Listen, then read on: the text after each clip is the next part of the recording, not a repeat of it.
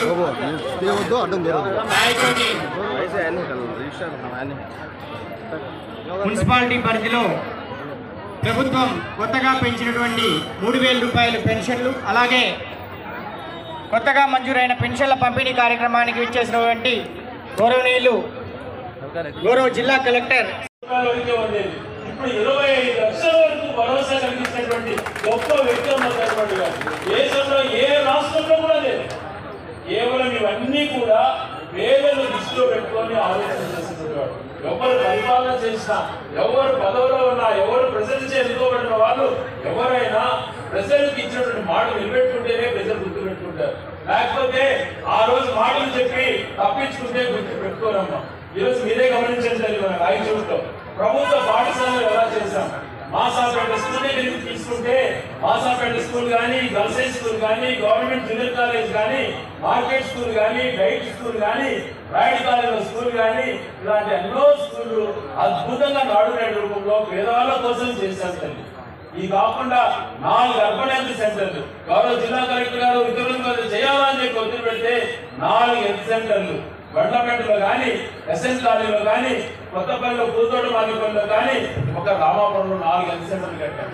దాంతో పాటు ఇంతకుముందు మున్సిపల్ చైర్మన్ చెప్పినట్టు ఈ రోజు మన పక్కనే మీరు పోయినప్పుడు చూడండి వంద పడకల ఆసుపత్రి లక్ష పదివేల స్క్వేర్ ఫీట్లో బ్రహ్మాండమైనటువంటి అద్భుతమైనటువంటి ఇరవై ఐదు మంది డాక్టర్లు ఉండేటట్టుగా హాస్పిటల్ నిర్మాణం చేసుకొని ఈ రోజు మీ దయతో ప్రారంభిస్తున్నాం.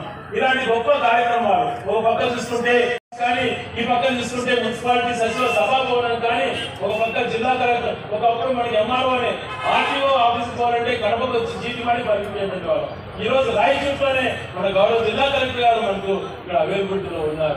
ఎస్పీ ఆఫీసర్ కానీ జిల్లా కేంద్రం చేయడంతో మన రాయచూరు అనేక రంగాల్లో అభివృద్ధి చెందుతాము డైట్ పాలు తీసుకున్నా కానీ భవిష్యత్ తరాల కోసం మంచి చేయాలని చెప్పి నగరవనం కానీ జిల్లా కలెక్టరేట్ కోసం వంద ఎకరాలు సేకరించడం కానీ ఇలాగ చెప్పుకుంటూ పోతే అనేకమైనటువంటి మంచి కార్యక్రమాలు పేద ప్రజల కోసం రాయచూటిలో రేపు తరం బాగుండాలా అని చెప్పి ఆలోచనతో కార్యక్రమాలు చేసేస్తాను మీరంతా చల్లగా ఉండాలి?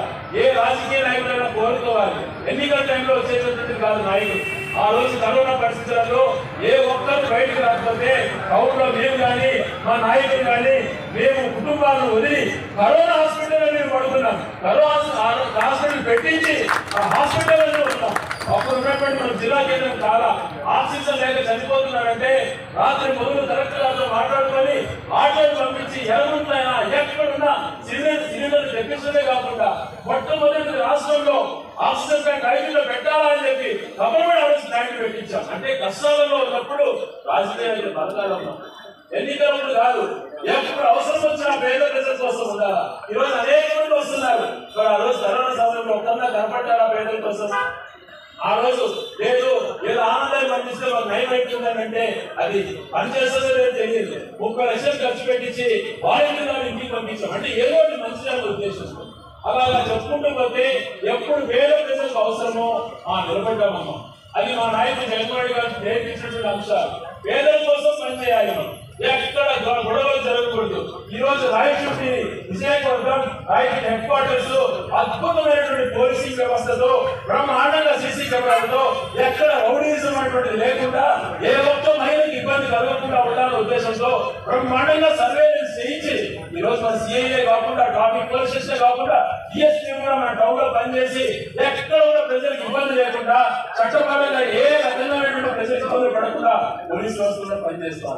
ఇలాగ అన్ని వ్యవస్థలు బాగా పనిచేసినప్పుడే వేరే ప్రజలకు మేలు జరుగుతుంది ఈ అంశంలో ఎక్కడ వెనుకడ వేసేది లేదు.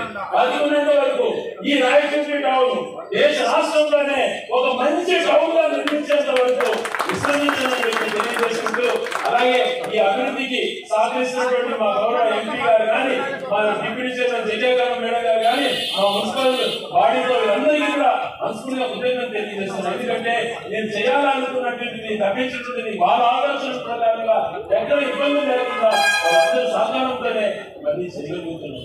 దగ్గరలో తానా రోడ్ ఫోర్ లైన్ కూడా ఓపెన్ చేస్తుంటాం. మిగిలిన కూడలను అభివృద్ధి చేస్తుంటాం.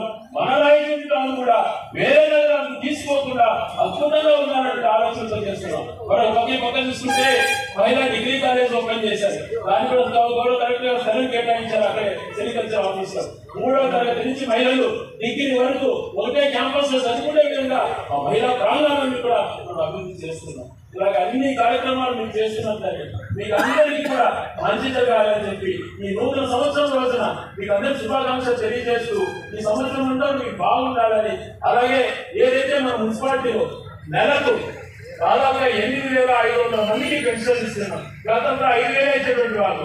ఈ రోజు ఎనిమిది వేల ఐదు వందల మందికి పెన్షన్ ఇస్తున్నాం. ఉద్యోగస్తుల ఇల్లులు వ్యాపారస్తుల ఇల్లులు ధనవంతుల ఇల్లులు తీస్తే మనకు తొమ్మిది వేల ఇల్లు కూడా ఉండవు మన మున్సిపాలిటీలో. ప్రతి పేదరికంగా అర్హత వాళ్ళందరికీ కూడా పెన్షన్ అందుతాను కిడ్నీ పేషెంట్స్ డయాలసిస్ వాళ్ళకు పదివేల రూపాయలు అయితేనేమి విద్యార్థులకు వికలాంగులకు పెన్షన్ అయితేనేమి అర్హత ఉంటే చాలు వాళ్ళందరికీ ఇవ్వాలన్నటువంటి జగన్మోహన్ గారి ఆలోచన చాలా గొప్పదన్న ఏ ప్రభుత్వాలైనా కూడా ఇలా పేద ప్రజల కోసం ఆలోచన చేసేస్తే మంచి జరుగుతుంది ఒకప్పుడు ఒక పథకం రావాలంటే ఆఫీసు చుట్టూ తిరగాలి ఈ రోజు మన ఊర్లోనే మీరు సచివాలయంలోనే మేము ఊళ్ళో వార్డులు సచివాలయం వార్డులు ఉన్నాయి. అక్కడే పది మంది అధికారులు పనిచేస్తారు.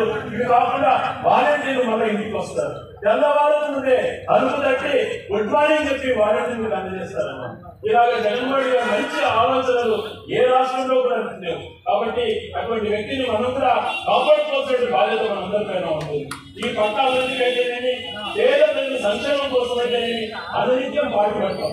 ఒకే చోట రెండు వందల యాభై ఎకరాలలో ఏ ఒక్క అవినీతి జరగలేకుండా ఆ వేల మందికి పట్టాలు ఇవ్వడం అంటే అది మన అధికారులు చేసిన సలహాలతో చాలా గొప్ప ఇలాంటి కార్యక్రమాలు ఇంకా ఎన్నో చేస్తామని మీకు తెలియజేస్తుంటూ అలాగే మీ అందరికీ వచ్చిన అవాదాతలకు అన్నదమ్ములకు అక్కచెల్లెలకు పెన్షన్ మూడు వేలు వస్తున్నటువంటి అందరికీ కూడా శుభావందనం చేస్తూ మీ అందరికీ